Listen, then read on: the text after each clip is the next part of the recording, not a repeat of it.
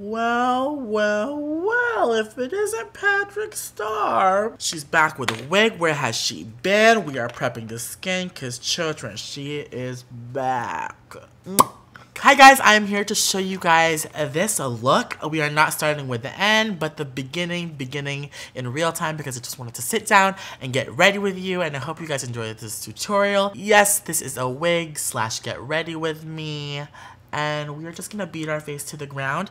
I am inspired today to do a colorful look, all right? Y'all are probably tired of this Mac, Mac, Mac, but I just want to show you guys some colors, some fun, and we are here inspired by, of course, none other than Mitchell and the P. Louise Academy, so I'm pulling this look and also maybe this look. I was I, I couldn't decide, but this girl is everywhere. She's a living Barbie. I love her so much. Love Mitchell. I hope to meet him one day, and I found him um, on Instagram and through Nikkie, and I love him so so much. If you are not following him, follow him. Definitely check out his page, and let's try to attempt an amazing blend. Can I talk to y'all about this hair? I was feeling something summer like, and you know I normally wear black wigs, but I thought I was gonna give and serve like real one women. I lightened my hair for summer because I wanted something different type of vibe. Comment down below if you're one of those girls because I certainly am. And then, you know, for fall, you go back dark or you cut your hair into a different style. I'm going to prime my face with the Too Faced Hangover Primer. This one is really, really good. I love it. It's hydrating and also it controls all the oil on my face. And guys, I have been obsessed with my skin. She's been taking care of her skin also, I do apologize for no nails because she's lazy and she's been wearing nails for years but she's coming back. And also, I will be at BeautyCon if you guys are gonna be there. It's not sponsored. I'm just gonna be there with Mac, of course. If you guys haven't checked out my collection, here's gonna be a plug. Buy my collection in stores now and online. Diva Feva for summer. First off, I'm going to prep the skin with this apricot corrector. This is by Clinique. It's the Beyond Perfecting Super Concealer. And I love this around this area and instantly you can see that it brightens up my skin. I'm gonna bring y'all a little bit closer. And I love this because it just corrects like the gray and the skin and it's super lightweight. And I love it. It's like the perfect color for me. I'm gonna put some on my mustache area right here and just conceal and then of course just take some and just dab it underneath the eye. Just lightly, we don't want to layer because we're going to layer so much makeup anyways today. Just going to bring some around the eye to color correct. Bibbity bobbity boo bitches, yes. So if you guys don't follow me on Instagram or Snapchat, it is no secret that I got filler. Y'all are asking where because I'm so chubby and you can't see it. I just look like a tub of filler. But I did get filler under my eyes and I am old. She's an old oh, queen, you guys. But I just love it because it makes me feel so awake and it's not so hollow because, guys, my eyes were like hollow and it was not a cute look. They were not designer bags. So if you guys want to see like a full in-depth vlog, let me know. I know this is a beauty channel and not a surgery channel and there's so much search on, on the internet. But if you guys want to see um, that type of process, let me know and I'll... I'll vlog it for you guys. I love my doctor. He's amazing. He's actually my neighbor.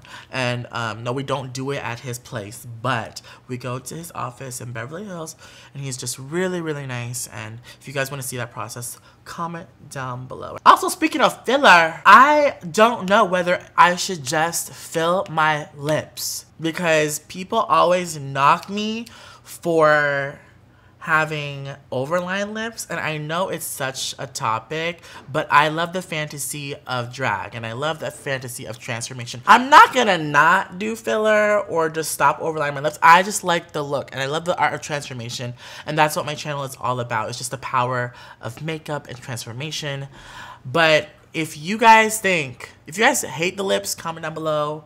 If you like the lips, comment down below. If you guys want to suggest filler, comment down below. I think there's just so many people with lip filler that just look like ducks quacking in a lake. It's just, I, I don't think it's my look, and I think that my lips look fine. I just don't want to look abnormal personally with the lips up to my nostrils because I already look crazy without makeup. I personally think my lips fit my face without filler. So for foundation, I'm gonna use the Kat Von D Lock It Foundation. I am in the color Medium 62 Warm. I love it so much. Y'all are probably wondering where the hell it is, but this foundation for summer is the best. And I actually rebought it. So, one of the best things on earth. And I'm to take it on this brush that I love.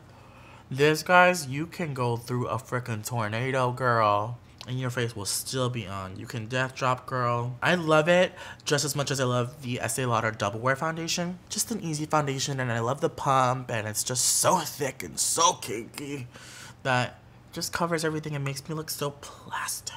Guys, my brows are a mess right now. I'm gonna do them off camera, and I'll be right back. Alright guys, now that the brows are done, I am willing and able to try the Born This Way Multi-Use Sculpting Concealer per recommended by my friend Zach. And I'm going to take, oh, let's see. I think I'm going to go with Natural Beige because I love me a pinky under eye. This is the pinkier one. So Natural Beige is more pinky and then Golden Beige obviously is more yellow golden.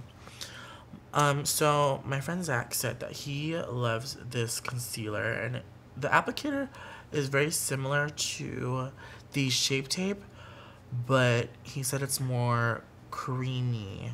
But I love the Shape Tape so much. Let's just try and see what the hype is about. And I'm picky with my concealer. I like it to be full coverage and I like it to stay and just lock. I wonder if Too Faced said, let's make Shape Tape but better. That's the real tea, honey, okay? Alright guys, we are going to take a different pattern than Patrick's pattern because I know it is sold out everywhere. I am trying. I have been begging, so I'm still waiting on a reply. But in the meantime, I'm going to take another favorite powder of mine, the Dermablend, and I'm going to mix in a little bit of Airspun. Oh, this is brand new. Let's, let's grab the old one. So we're going to take the Beauty Blender and just set this right away. I'm actually low-key kind of obsessed with this concealer. It might replace my Shape Tape if it does well. Because sometimes if I'm really tired, my eyes get so, so dry underneath. And I have to use like extra Tatcha eye cream. And Tatcha is not cheap, y'all. Tatcha, the eye cream was like $80. And I'm not trying to spend no $80 to get some. But I feel like if you have a really good full coverage concealer that's friendly to your eye area, then you'll be you'll be set, girl. And then for the rest of my face, I'm gonna take a little bit of Airspun, girl, because we're trying to go for that full coverage look. Good God, that's a lot of powder. But there's nothing a little bit Benefit cannot fix. Do y'all remember my commercial with Benefit? Give me more. Give me brow. Mmm. Give me more. And give me brown. That was so crazy. So today I'm a little bit nervous because I am doing my shadow like them kids um, I would say like Mitchell, P. Louise Academy. I wish I had the P. Louise um, eye base, but I don't. But I see a lot of kids. When I say kids, I mean like this is like a new age type of technique that I necessarily haven't done personally. That's why I'm calling it new. I'm sure it's been around. I just personally have not tried it, and it is applying your shadow directly to a wet base. I tried it yesterday for 4th of July, and it was cute. It was just a little bit of a new technique for me. And I've seen like Nikkie do it. I see the concept. I think it just takes a lot of concentration. So that's what we're to do today. I'm to keep my eye base wet. And then we're to go for the darkest shadow in the look and apply it to the eye. Alright guys, so I'm going to take the 39A palette. If you guys shop at Morphe, use the discount code P star with three R's to snatch some coins off your receipt. This palette is well loved and well used. I'm going to take this matte navy shade right here and apply it to my wet base with a Smith 247 brush. Wish me luck. Sorry guys, I am deep in concentration. Like, I get the technique, I see the purpose because look how pigmented the eyeshadows are going. And instead of baking, you're getting full color payoff on a sticky base, which I love. And I love the idea. I barely, rarely like do colored looks, but I really want to branch out and try because I'm just so inspired by like different techniques and I'm willing to try. And I'm one of those people that's like a creature of habit. And I feel like I've been doing so much stuff like with Mac and, you know, doing the campaign images that I've been kind of feeling out of the loop with like social media because I've just been producing so much for MAC that I've been missing out. And guys, I can't believe like we're three collections deep and it's just like amazing that I never would have thought to have a collection at MAC from this very platform, from all of you and all of your support. And I just look so freaking crazy. Like with all this powder on my face. But little did I know, or probably MAC knew, that they would be sold out of a powder from a person like me that just slaps it on. Let me look at this picture because I don't forget how it looks. I'm so not used to this eye look. I'm going to take my Sephora Pro palette. It's busted like crazy. And I'm going to take this hot fuchsia pink right there.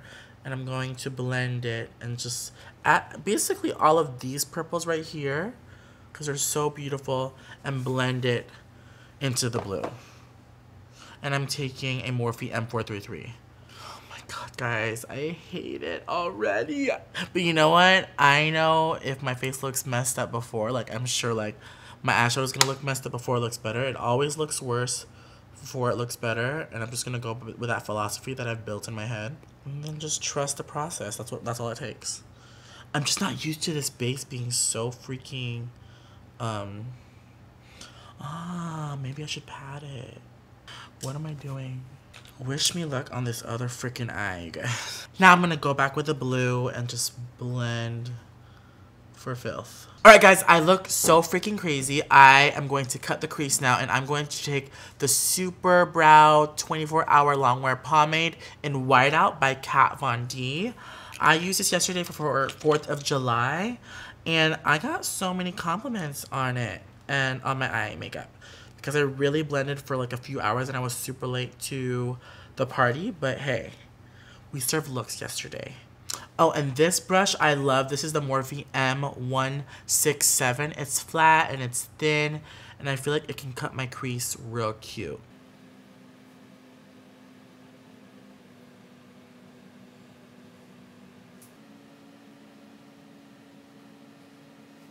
Alright guys, I feel like I got it to the best of my ability and I feel like this crease is serving Jessica Rabbit, but I think it fits my eye shape as far as what I'm concerned.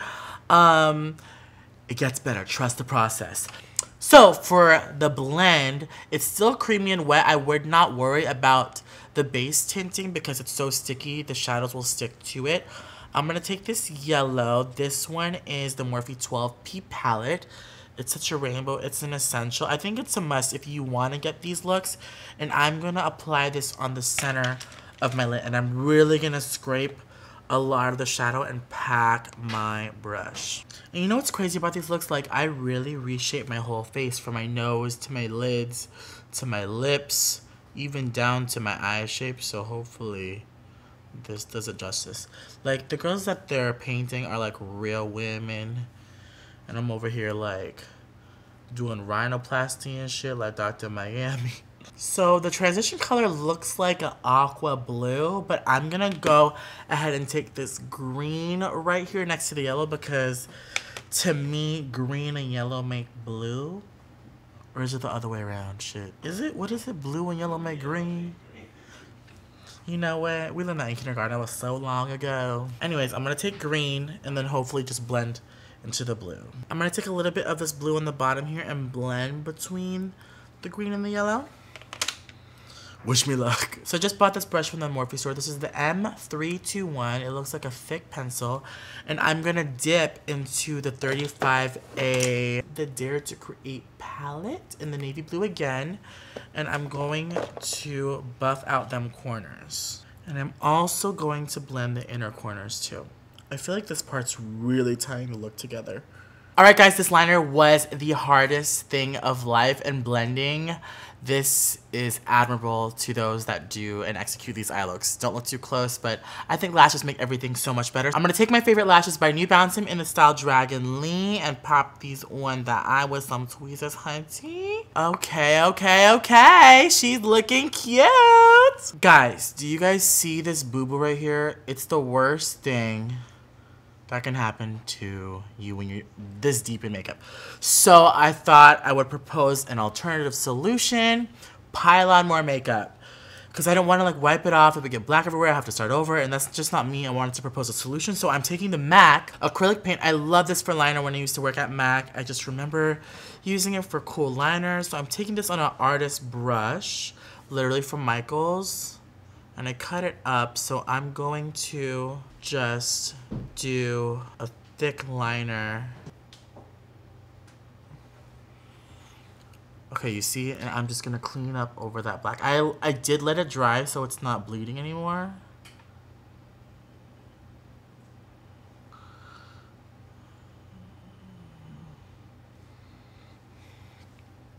Boom.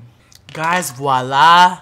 The eyeliner is fixed now. I just gotta push the lashes so you can kind of get better dimension on here. But first, I'm just gonna let the acrylic dry and I'm gonna blow dry my eyes a little bit and I'll be right back. Alright you guys, my wig is still on, the liner is saved, and my lashes look a little bit sleepy, more like Marilyn Monroe. At the very last minute, I will push them up to Jesus so they give me that flutter effect. In the meantime, I'm going to dust off this Airspun powder because we cute or whatever. And it feels really good to be back on YouTube. I feel like I've been MIA a little bit just because of just behind the scenes and working. I do want to come forward and mention that I am doing 99% of the marketing stuff for MAC with my collection and it's been a dream come true. I think what's so different about this collaboration is that we're working like way ahead almost like a brand because my partnership is a year long with MAC and I am already three collections deep.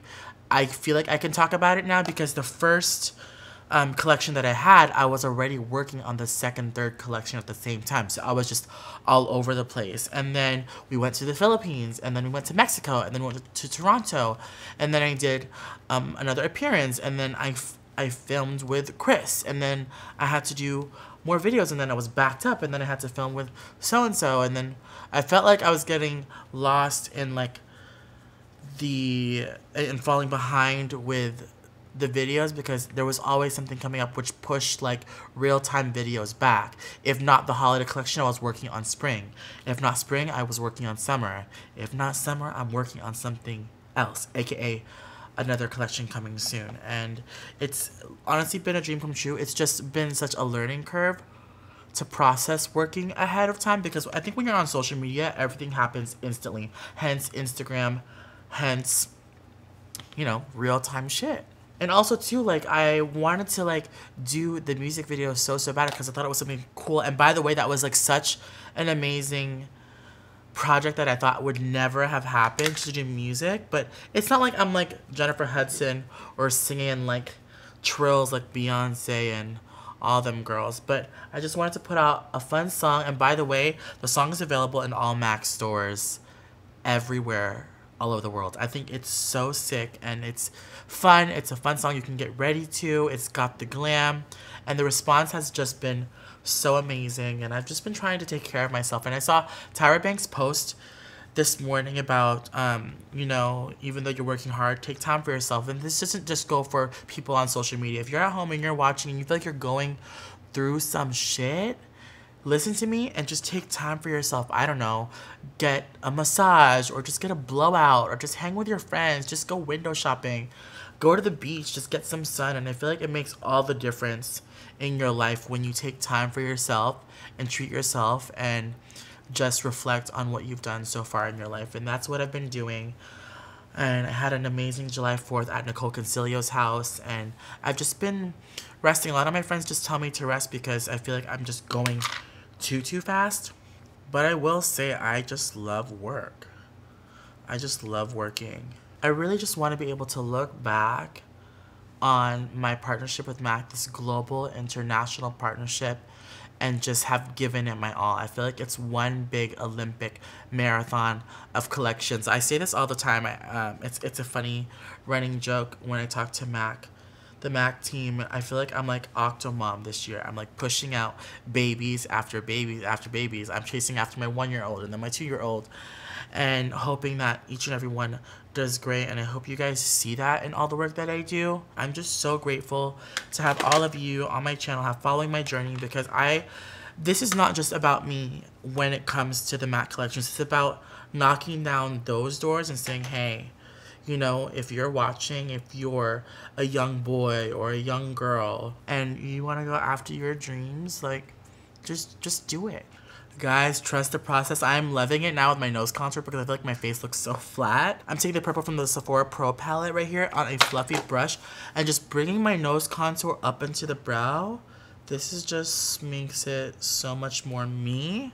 And take that navy blue from the Dare to Create palette and also bring this up and fuse it into the front part of the brow. Obviously, contouring is preferential between, you know, the face, but I think this works for my particular face shape. Next, I'm going to take 7C by Makeup Forever and overline the hell out of my lips because the eyes are so dramatic. I mean, like I said in the beginning, I don't have filler on my lips, never have. I'll never say never will, but as for now, I'm happy with the way my lips are. Filled by Jesus. And to seal the deal, I'm going to take my favorite lip gloss thus far of all my MAC collabs. This one, besides Mama Star, sorry. Um, I'm going to take Fashion Punch by MAC and apply this and blend it in with the lip liner. This is just sex dreams for all. It's the perfect peach. It's the perfect like sex peach lip. And then there's also cream pie. If you want a cream pie mouth, get the kit. Diva Feva and that color is there. It's more pinky. Fix plus this bitch. Try to avoid the eyeliner so I don't run again. Run away from mama. I'm gonna change I'll be right back. Oh my gosh, you guys, I love this look. I love the color. I love the 301s. I haven't worn lashes. 301s tops and bottoms in so, so long. And thank you to Mitchell for inspiring this look. I love the colors. And it's just so magical to be back here in LA, in my apartment, filming for you guys. Thank you so much for joining me on this journey of YouTube and life. And if you guys want to see more videos like this, comment down below, give this video a thumbs up, subscribe to this channel, and I will see you all in my next video. Bye!